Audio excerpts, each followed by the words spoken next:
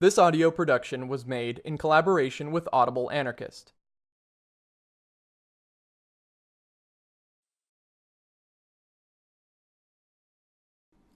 Anarchy Works by Peter Gelderloos.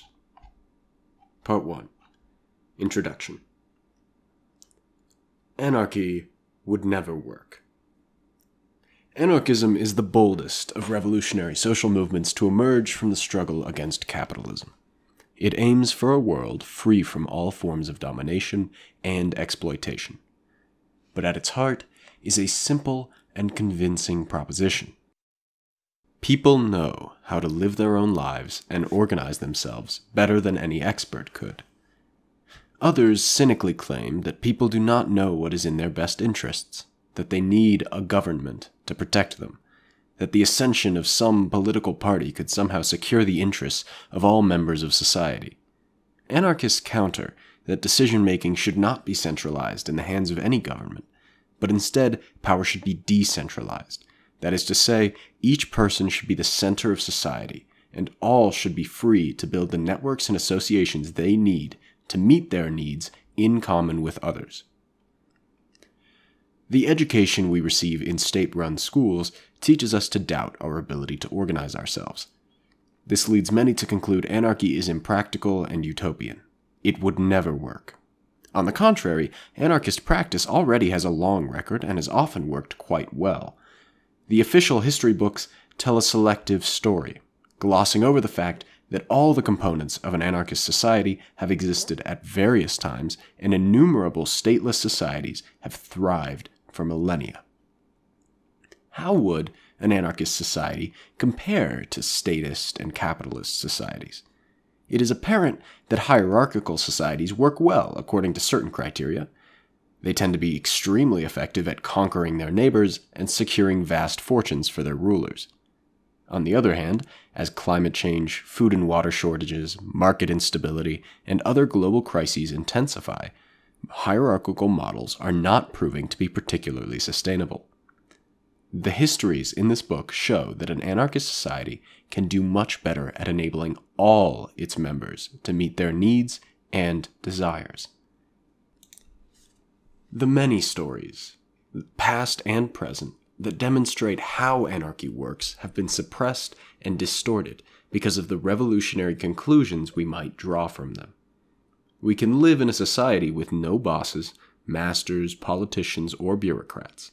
A society with no judges, no police, and no criminals, no rich or poor. A society free of sexism, homophobia, and transphobia. A society in which the wounds of, from centuries of enslavement, colonialism, and genocide are finally allowed to heal. The only things stopping us are the prisons, programming, and paychecks of the powerful, as well as our own lack of faith in ourselves. Of course, anarchists do not have to be practical to a fault.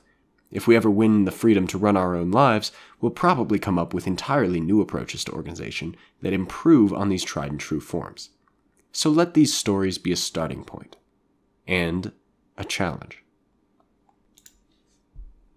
What exactly is anarchism? Volumes have been written in answer to this question, and millions of people have dedicated their lives to creating, expanding, defining, and fighting for anarchy. There are countless paths to anarchism and countless beginnings. Workers in 19th century Europe fighting against capitalism and believing in themselves instead of the ideologies of authoritarian political parties. Indigenous peoples fighting colonization and reclaiming their traditional horizontal cultures. High school students waking up to the depth of their alienation and unhappiness. Mystics from China a thousand years ago or from Europe 500 years ago. Taoists or Anabaptists fighting against the government and organized religion women rebelling against the authoritarianism and sexism of the left. There is no central committee giving out membership cards, and no standard doctrine. Anarchy means different things to different people. However, here are some of the basic principles most anarchists agree on. autonomy, and horizontality. All people deserve the freedom to define and organize themselves on their own terms. Decision making structures should be horizontal rather than vertical, so no one dominates anyone else. They should foster the power to act freely rather than power over others.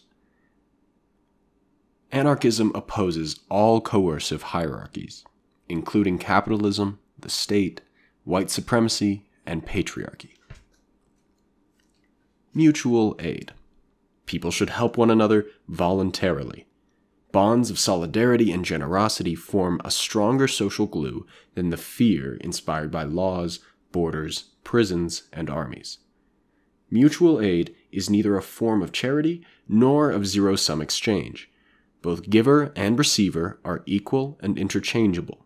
Since neither holds power over the other, they increase their collective power by creating opportunities to work together.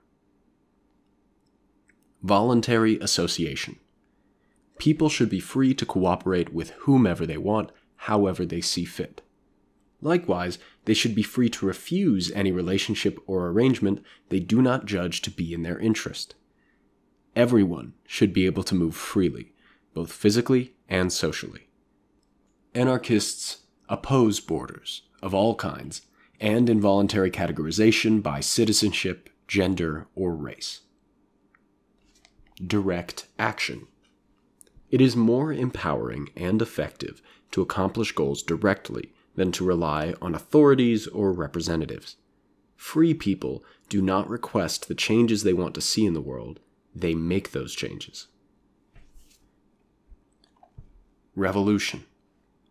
Today's entrenched systems of repression cannot be reformed away. Those who hold power in a hierarchical system are the ones who institute reforms, and they generally do so in ways that preserve or even amplify their power. Systems like capitalism and white supremacy are forms of warfare waged by elites. Anarchist revolution means fighting to overthrow these elites in order to create a free society. Self liberation. Quote, the liberation of the workers is the duty of the workers themselves, End quote, as the old slogan goes. This applies to other groups as well. People must be at the forefront of their own liberation. Freedom cannot be given, it must be taken. A note on inspiration. Pluralism and freedom are not compatible with orthodox ideologies. The historical examples of anarchy do not have to be explicitly anarchist. Most of the societies and organizations that have successfully lived free of government have not called themselves anarchist. That term originated in Europe in the 19th century, and anarchism as a self conscious social movement is not nearly as universal as the desire for freedom. It is presumptuous to assign the label anarchist to people who have not chosen it. Instead, we can use a range of other terms to describe examples of anarchy in practice. Anarchy is a social situation free of government and coercive hierarchies, held together by self organized horizontal relationships. Anarchists are people who identify themselves with the social movement or philosophy of anarchism. Anti authoritarians are people who expressly want to live in a society without coercive hierarchies, but do not, to the best of our knowledge, identify as anarchists, either because the term was not available to them or because they do not see the specifically anarchist movement as relevant to their world. After all, the anarchist movement, as such, emerged from Europe and it inherited a worldview in accordance with this background. Meanwhile, there are many other struggles against authority that spring from different worldviews and have no need to call themselves anarchist. A society that exists without a state but does not identify itself as anarchism is stateless. If that society is not stateless by chance, but consciously works to prevent the emergence of hierarchies and identifies with its egalitarian characteristics, one might describe it as anarchistic. The examples in this book have been selected from a wide range of times and places, about 90 altogether. 30 are explicitly anarchists. The rest are all stateless, autonomous, or consciously anti authoritarian. More than half of the examples are from present day Western society. A third are drawn from stateless societies that provide a view of the breadth of human possibility outside of Western civilization, and the remaining few are classical historical examples. Some of these, such as the Spanish Civil War, are cited multiple times because they are well documented and offer a wealth of information. The number of examples included makes it impossible to explore each one in the detail it deserves. Ideally, the reader will be inspired to pursue these questions herself, distilling further practical lessons from the attempts of those who came before. It will become apparent throughout this book that anarchy exists in conflict with the state and capitalism. Many of the examples given here were ultimately crushed by police or conquering armies, and it is in large part due to this systematic repression of alternatives that there have not been more examples of anarchy working. This bloody history implies that, to be thoroughgoing and successful, an anarchist revolution would have to be global. Capitalism is a global system, constantly expanding and colonizing every autonomous society it encounters. In the long run, no one community or country can remain anarchist while the rest of the world is capitalist. An anti capitalist revolution must destroy capitalism totally, or else be destroyed. This does not mean that anarchism must be a single global system. Many different forms of anarchist society could coexist, and these in turn could coexist with societies that were not anarchist, so long as the latter were not confrontationally authoritarian or oppressive. The following pages will show the great diversity of forms anarchy and autonomy can take. The examples in this book show anarchy working for a period of time, or succeeding in a specific way. Until capitalism is abolished, all such examples will necessarily be partial. These examples are instructive in their weaknesses as well as their strengths. In addition to providing a picture of people creating communities and meeting their needs without bosses, they raise the question of what went wrong and how we could do better next time. To this end, here are some recurring themes that may be beneficial to reflect on in the course of reading this book. Isolation. Many anarchist projects work quite well, but only make an impact in the lives of a tiny number of people. What engenders this isolation? what tends to contribute to it, and what can offset it. Alliances. In a number of examples, anarchists and other anti authoritarians were betrayed by supposed allies who sabotaged the possibility of liberation in order to gain power for themselves.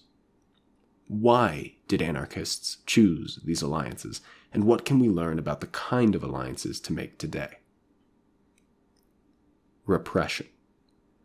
Autonomous communities and revolutionary activities have been stopped cold by police repression or military invasion time after time. People are intimidated, arrested, tortured, and killed, and the survivors must go into hiding or drop out of the struggle. Communities that had once provided support withdraw in order to protect themselves. What actions, strategies, and forms of organization best equip people to survive repression? And how can those on the outside provide effective solidarity? Collaboration. Some social movements or radical projects choose to participate in or accommodate themselves to aspects of the present system in order to overcome isolation, be accessible to a greater range of people, or avoid repression. What are the advantages and pitfalls of this approach? Are there ways to overcome isolation or avoid repression without it? Temporary gain. Many of the examples in this book no longer exist. Of course, anarchists are not trying to create permanent institutions that take on lives of their own. Specific organizations should come to an end when they are no longer helpful. Realizing that, how can we make the most of bubbles of autonomy while they last? and how can they continue to inform us after they have ceased to be?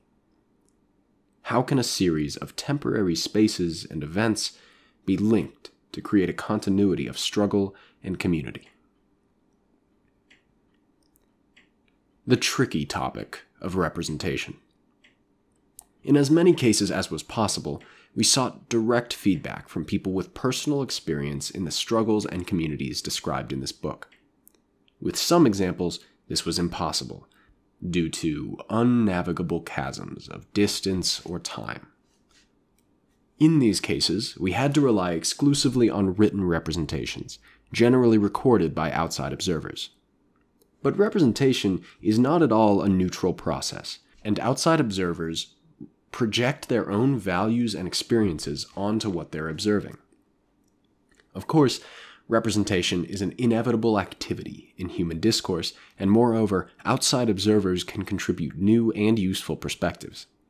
However, our world is not that simple. As European civilization spread and dominated the rest of the planet, the observers it sent out were generally the surveyors, missionaries, writers, and scientists of the ruling order. On a world scale, this civilization is the only one with the right to interpret itself and all other cultures. Western systems of thought were forcibly spread around the world, Colonized societies were cut up and exploited as slave labor, economic resources, and ideological capital. Non Western peoples were represented back to the West in ways that would confirm the Western worldview and sense of superiority and justify the ongoing imperial project as necessary for the good of the peoples being forcibly civilized.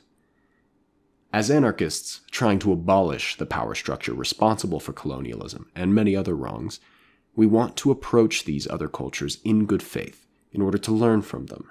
But if we're not careful, we could easily fall into the accustomed Eurocentric pattern of manipulating and exploiting these other cultures for our own ideological capital. In cases where we could find no one from the community in question to review and criticize our own interpretations, we have tried to situate the storyteller in the telling, to subvert his or her objectivity, and invisibility, to deliberately challenge the validity of our own information, and to propose representations that are flexible and humble. We don't know exactly how to accomplish this balancing act, but our own hope is to learn while trying. Some indigenous people, whom we consider comrades in the struggle against authority, feel that white people have no right to represent indigenous cultures and this position is especially justified given that for 500 years, Euro American representations of indigenous peoples have been self serving, exploitative, and connected to ongoing processes of genocide and colonization. On the other hand, part of our goal in publishing this book has been to challenge the historical Eurocentrism of the anarchist movement and encourage ourselves to be open to other cultures. We could not do this by only presenting stories of statelessness from our own culture. The author and most of the people working on this book in an editorial capacity are white, and it is no surprise that what we write reflects our backgrounds.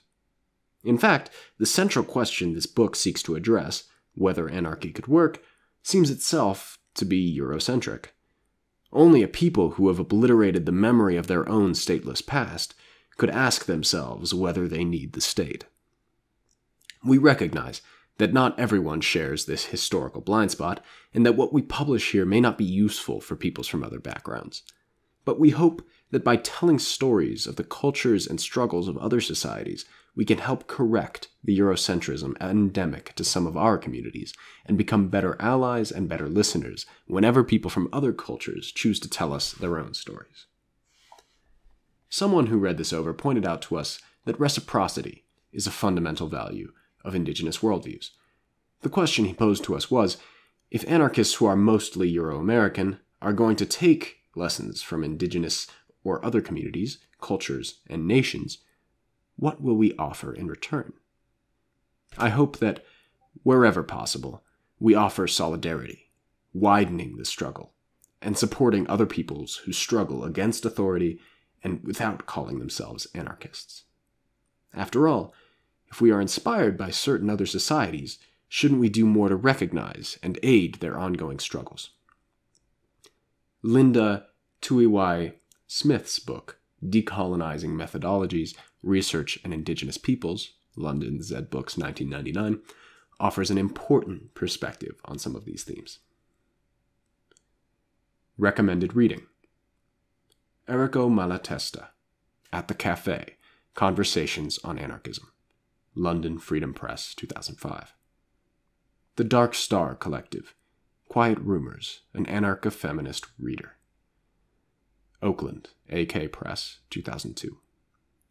Crimeth Inc. Days of War, Nights of Love. Crimeth Inc., 2002. Daniel Guerin. Anarchism From Theory to Practice. New York Monthly Review, 1996. Bell Hooks. Ain't I a Woman?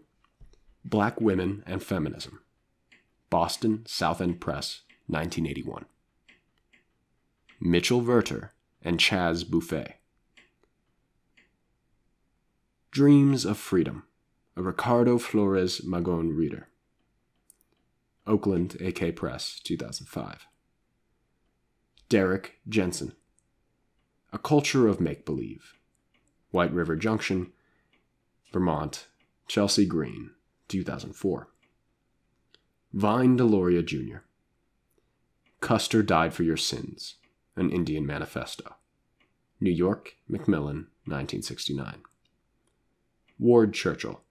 From a Native Son, Selected Essays on Indigenism, 1985 to 1995. Cambridge South End Press, 1999. Or his interview on Indigenism and Anarchism in the journal Upping the Ante.